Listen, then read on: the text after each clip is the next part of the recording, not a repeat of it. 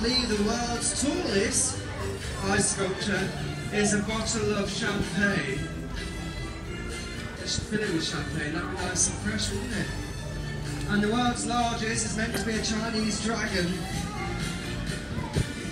Meant to be bigger than this deck.